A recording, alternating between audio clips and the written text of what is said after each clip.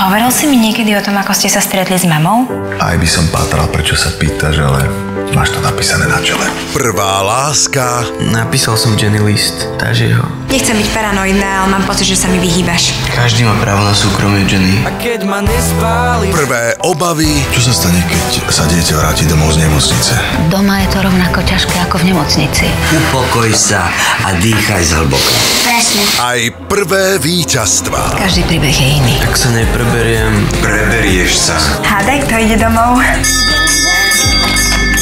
Jenny v stredu o 21.35 na Jojke.